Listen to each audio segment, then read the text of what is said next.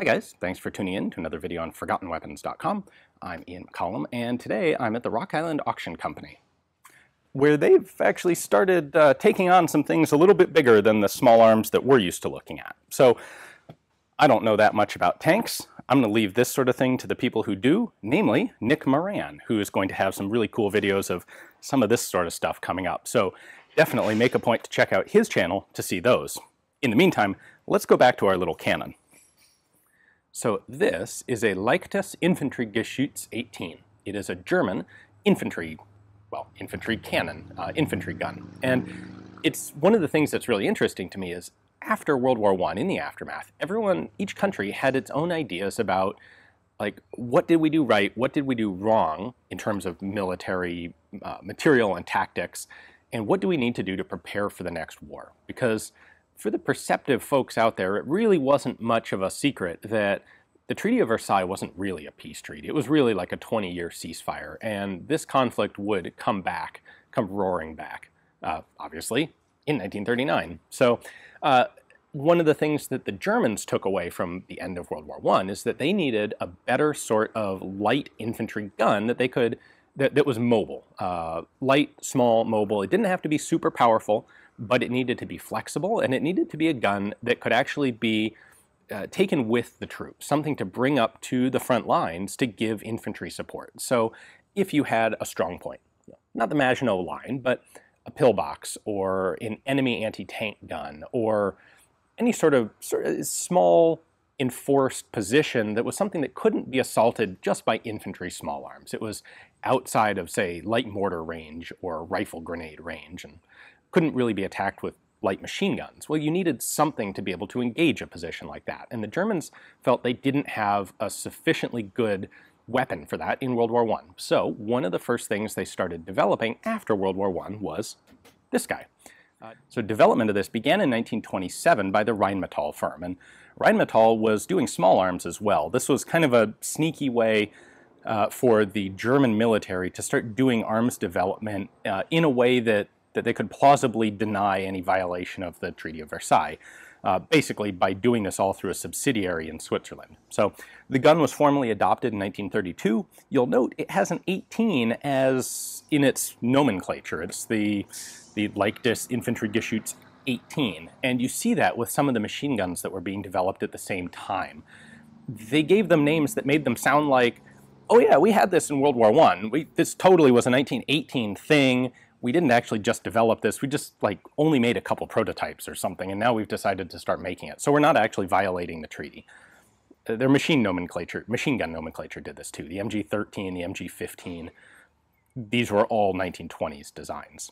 So um, the, in total, this would be produced, uh, they would make about about 12,000 of these between 1932 and 1945, and it was produced basically right up until the end of World War II. It was a pretty successful gun for the Germans. They liked it. It did what it was supposed to. You know, it may not have been cutting edge by the end of the war, but does it really need to be? It's still throwing high explosive. It still works. It's still easily mobile. So let's take a look at a couple of the, the functional bits. Unfortunately, this gun is uh, welded shut, but it had a really unusual action and it looks strange. So let's see why they did that. So the action on this piece is really fairly unusual. It's, well, as you can see, it's this kind of weird boxy thing, and it actually functions rather like a break action shotgun. So the whole box is going to re recoil backwards when it fires, which is pretty typical just to absorb the energy of firing something like this thing. The, I, I should point out, the reason for that is uh, what you're trying to do is keep, is isolate the carriage. You want the carriage to stay in place so that uh, basically so that you don't have to completely resight the gun with every shot. Um, if you can have all of the energy absorbed by this thing coming back, that's the equivalent of a low recoil shoulder arm. Uh, at any rate, what happens after this recoils back is this front side of the breech block actually pops up. Think of it like a break action shotgun and spits the shell out. So the breech block here is fixed in place. Normally on a gun like this, you would have the breech block dropping or sliding or rotating or in some way moving. In this case, again, like a break action shotgun, the breech is fixed and it's the barrel that actually lifts up to eject the cartridge. Then you can throw a cartridge in, slap it down uh, to chamber it, and then uh, you're ready to fire again. we have a traverse adjustment wheel right here. This has this is capable of 12 degrees of traverse side to side. And what's kind of interesting about this is if you see what this gun is doing, it's leaving the wheels in place and it's not actually rotating the gun itself. It's pivoting the entire trail and everything uh, on a screw on this axle. So the whole the wheels are staying and the whole gun is swinging side to side. Note the, the distance between the edge of the shield there and that wheel. And then if I bring it back over here,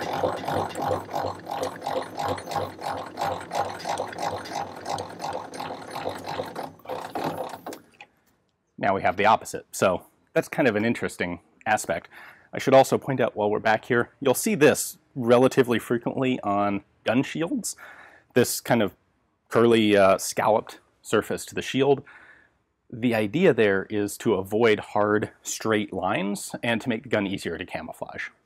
How effective that was, I'm not sure, because you don't have to get very far away before it looks like a straight line, but it is something that was done here as well as on other guns. Now the elevation wheel is over on this side. This has a pretty substantial uh, range of elevation. You can go all the way down to zero, basically just point shooting, direct fire. And they did actually make an anti-tank, uh, a shaped charge or a hollow charge uh, shell for this. Apparently, by all accounts, it wasn't all that effective, especially towards the end of World War II, um, but it was an option. Most of the time, this would be used with high explosive, which you could use direct fire, or could angle this guy up quite a lot more. Um, maximum effective range was about 4,000 meters. That's not bad. This was firing about a 12 pound uh, explosive projectile. That's five and a half to six kilos.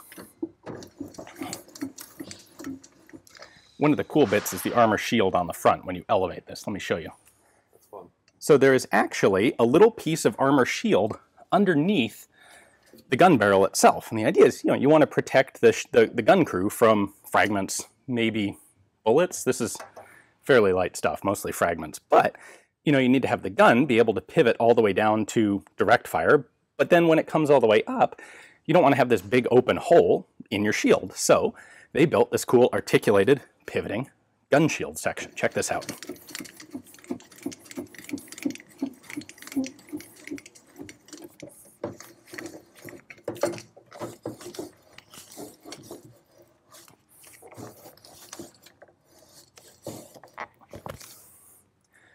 Neat, huh? So there were a couple variations made on this. You can see that this one still has the old style of wooden spoke wheels. Uh, some of these would get upgraded with modern metal and rubber tired wheels. Um, remember though that when World War II began, a lot of the German military was still horse-drawn and not mechanized. So if you're towing this behind some horses, these wheels are just fine. Uh, and they're also lighter, by the way. Uh, the whole thing weighed right just under 900 pounds. That's about 400 kilos. That's about what you would expect for a light infantry gun that could actually keep up with the infantry. One cool thing about this guy is that it is extremely well balanced. So I can pick this thing up. That's, it's a little worse balanced when the gun's all the way pivoted up, but this thing is really easy to lift up at the back and move around. Now, if that's not good enough, they did also, um, later on in 1935, they came out with a mountain troops version of this gun. It actually weighed more. What they did was take this kind of box frame uh, trail and replace it with a tubular metal trail. It weighed more, but it broke down into like, I think 10 pieces uh, for transport, and the heaviest single piece was 75 kilos. That's still heavy, but that's at the point where maybe one really strong dude um, can carry that 75 kilogram piece for a while, but it'd be easy to put on horse, on very small vehicles, tow it in a car. It, it makes the gun a lot more easily transportable, um, if nothing else for hauling the thing up, uh, you know, stiff, steep mountain trails, whatever. So uh, they did also have that mountain version. A um, couple other statistics I should point out on this. Rate of fire, the practical rate of fire was 8 to 12 rounds per minute. That is, of course, including aiming, if you were just going to try and blow ammo through it as fast as you could, I suspect you could get more than that. But practical rate of fire, 8 to 12 rounds a minute. And uh, as I said, it ran all the way through World War II. It was eh, not the newest piece of technology, but it was reliable. It was effective. Um, that weird tilting barrel action didn't really have any particular advantage, but it didn't really apparently have any real disadvantage either. Um, maybe different for the sake of being different, but hey, if it works, it works. So we have kind of a cool bit of suspension here. These cylinders are, in fact, the suspension for the wheels. So uh, the axle comes into here, and then you have what I assume, but I haven't actually pulled it apart to look, is a, a torsion spring in here, and then the wheel is actually attached on the end of this arm that comes out. So when this thing is going over bumps, the wheels can articulate like that. All right, well, hopefully you guys enjoyed the video. It's not often really that we get to take a look at artillery pieces, kind of the, the cannons and the bigger infrastructure, but these have as much of a part in military history as small arms do. In fact, probably a more significant role. So hopefully you guys enjoyed the video. I do hope to expand and do more of this sort of thing as time goes on. And uh, let me know down in the comments if you think that's a, a, good idea or a bad one. And of course, if you're interested in this thing, uh, it is actually being sold here at the Rock Island Auction Company. If you'd like to see more about it, their pictures, their detailed description, their price estimate. I know a lot of people are interested in that sort of detail. Uh, take a look at their website. You can follow a link in the description text below to ForgottenWeapons.com. And I have a link directly there to their catalog page on this particular guy where you can find out a bunch more info. Thanks for watching.